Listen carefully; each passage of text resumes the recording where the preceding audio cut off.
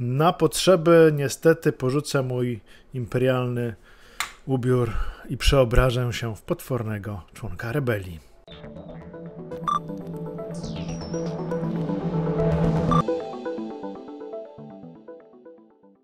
Dzień dobry moi drodzy, ostatnio miałem przyjemność pokazać Wam rozgrywkę w grę Star Wars Squadrons na wirtualnych goglach Valve Index i powiedziałem jednocześnie, że spróbuję pokazać Wam jak e, rozgrywka prezentuje się, kiedy podłączymy się do komputera za pomocą sieci Wi-Fi, skorzystając z gogli Oculus Quest bezprzewodowych i czy w ogóle można grać w takie gry, które odpalamy na PC za pomocą gogli Oculus Quest, czy potrzebny jest kabel, czy też kabla nie potrzeba, jak Virtual Desktop działa, czy nie ma żadnych opóźnień itd., tak itd. Tak no i postanowiłem to zrobić dzisiaj, więc zaraz to zobaczycie, czy jest sens korzystanie z takiej konfiguracji.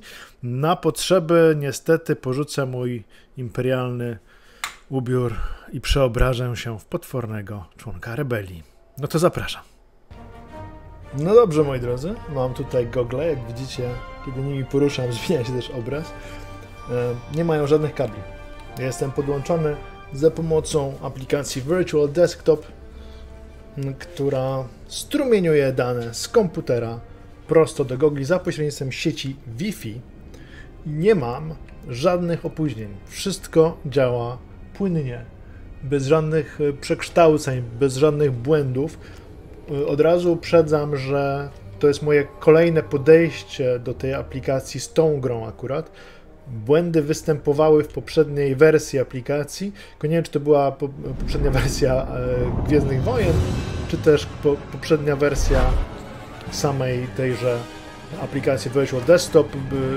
Problemy obierały się tym, że to, co teraz widzicie na ekranie, czyli ten filmik przerwnikowy, u mnie był dosłownie tak, jakbym miał go na nosie, tak jakby ten ekran miał tuż przed nosem, czyli wszystkie przerwniki tak się wyświetlały. Natomiast sama grafika w grze była ultra ciemna. Było bardzo ciemno, gamma tak jak była ustawiona na pełn, pełną czerń, wszystkie jasności były no, jakby w czarnej dziurze się znajdowały. Natomiast teraz nie ma w ogóle żadnych problemów.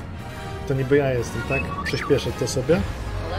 I uwaga, jestem rebeliancką szumowiną w X-Wingu. I muszę powiedzieć, muszę powiedzieć, że X-Wing ma jedną zdecydowaną przewagę nad TIE Fighterem. To jest możliwość rozglądania się bezproblemowego. Pięknie to wygląda. I mam wrażenie, że na indeksie rozdzielczość była odrobinę wyższa, ale odrobinę. Tutaj jest bardzo dobra kompresja sygnału. Wszystko znakomicie się prezentuje. Czernie są chyba nawet lepsze na, na Questie teraz. Ten pilot walnął w korwetę. No i cóż mam powiedzieć, to wrażenia są nieziemskie. Nieziemskie, bo jestem w kosmosie i fruwam w X-Wingu. Za mną jest Artu. Artu jest, znowu, patrzcie tam. Niesamowicie to wygląda. I no jest pięknie, jest pięknie, nie potrzebuję żadnych kabli, jestem swobodny, mogę się przesuwać jak chcę. Mogę tak naprawdę, mógłbym się umieścić na środku pokoju i, i się kręcić w fotelu, żeby nie uderzyć nogami o, o biurko na przykład. Przekaż zasilanie na silniki. Niesamowite. Mogę sobie przelecieć tutaj. Ja. Normalnie wychylam się przez okno i widzę przemykający obok mnie wielki statek. W zasadzie to ja koło niego przemykam. Mam wrażenie, że X-Wingi są szybsze, bo te smugi nade mną, są, myślę, że są że te, że te smugi są e, szybciej się przemieszczają. E, moc na lasery teraz przełączyłem. To jest taki, taka misja treningowa. No i coś mogę dodawać więcej. O, troszkę się przesunę, żeby wejść bardziej w ciało mojego pilota. Teraz mocna tarcza. Tarcza sprawdzona.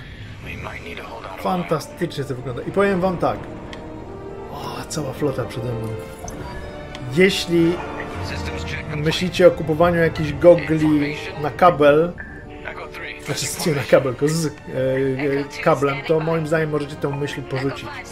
Przewaga indeksa w tym momencie nad Questem e, polega na tym, że indeks ma lepszy dźwięk, wyższe odświeżanie, ale w Questie drugim też ma być 90 Hz. Ma też większe pole widzenia, większy FOV. I cóż jeszcze, no jest wygodniejszy trochę. Natomiast to wszystkie, są wszystkie rzeczy, które my możemy zmienić w swoim questie, możemy tak dopasować do siebie pod swoje upodobania, że będzie działać bardzo dobrze i będzie bardzo wygodny.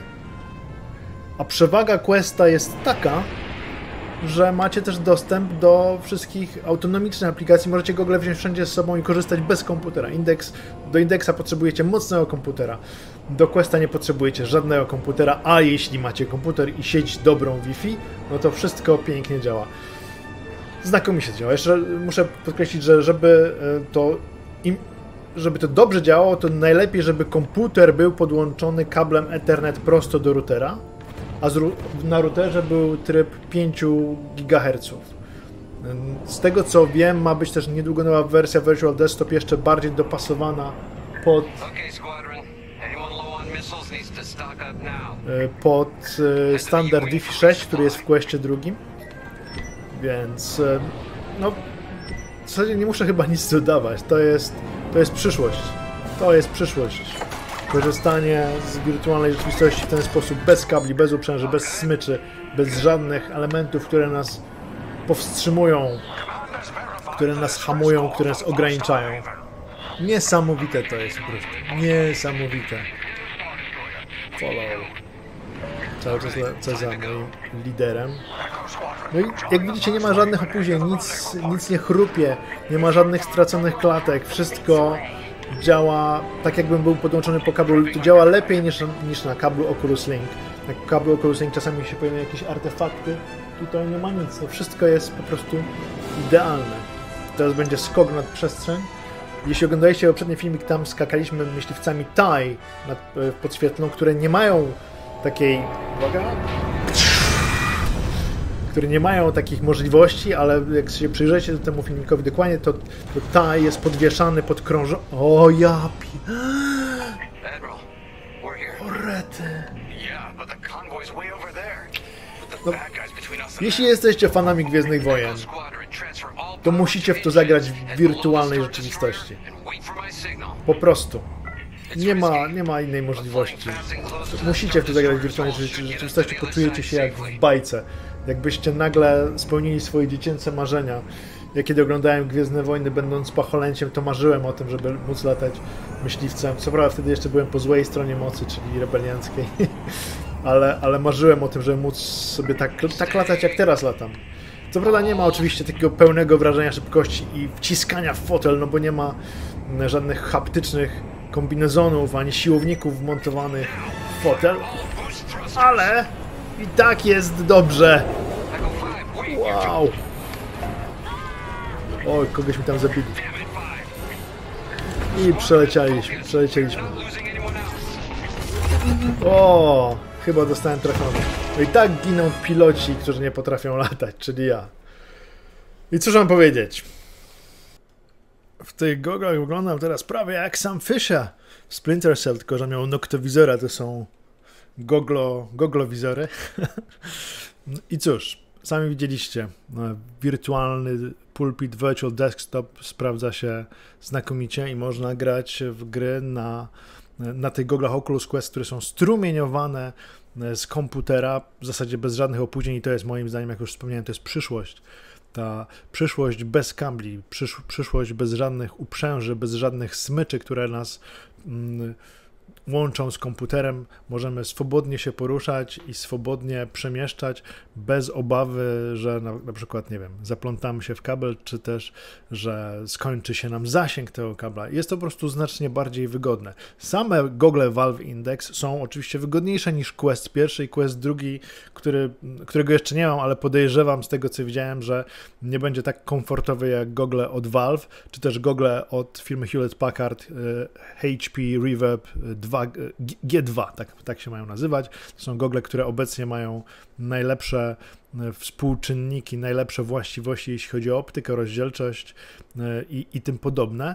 Natomiast są znacznie droższe niż Google Quest. Google Quest są znacznie bardziej wszechstronne też, ponieważ można je wykorzystywać także bez komputera. W zasadzie to jest ich podstawowy modus operandi korzystanie bez komputera. Natomiast jeśli macie mocny komputer i macie aplikację Virtual Desktop, to możecie swobodnie, swobodnie korzystać z Google Quest w połączeniu z tym komputerem.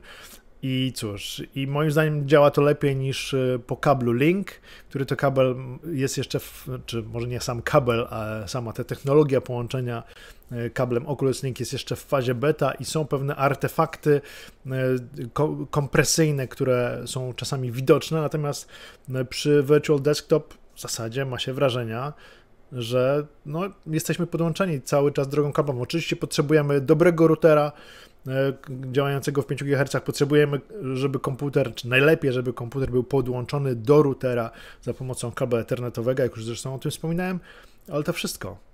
Wszystko działa pięknie. Nie potrzeba zbytniej filozofii. Zrobię jeszcze osobny filmik o tym, jak połączyć Virtual Desktop z komputerem. To nie jest nic skomplikowanego, ale wiem, że niektóre osoby wolą tak naocznie mieć pokazane, jak to wszystko się prezentuje. No i cóż, Zachęcam bardzo do sprawdzenia wirtualnej rzeczywistości, jeśli jeszcze nie mieliście okazji, a już niedługo, mam nadzieję, że dosłownie za parę dni będę miał Google Oculus Quest 2, które już do mnie nie tyle lecą, co chyba jadą, bo chyba z Holandii są wysyłane. I mam nadzieję, że przygotuję taki filmik, na którym pokażę Wam zarówno Google Quest 2, jak i moim zdaniem najlepsze pozycje autonomiczne tego Google, czyli mm, gry, które nie korzystają z PC, gry, które są, działają tylko na Google'ach Quest i nie potrzebują do tego żadnych innych sztuczek. No cóż, dzięki wielkie za oglądanie, trzymajcie się ciepło. Jeśli się Wam podobało, oczywiście to będzie miło, jeśli polubicie, a jeśli się Wam bardzo podobało, to będzie mi jeszcze milej, jeśli zasubskrybujecie mój kanał. No i cóż, to by było na tyle. Na razie.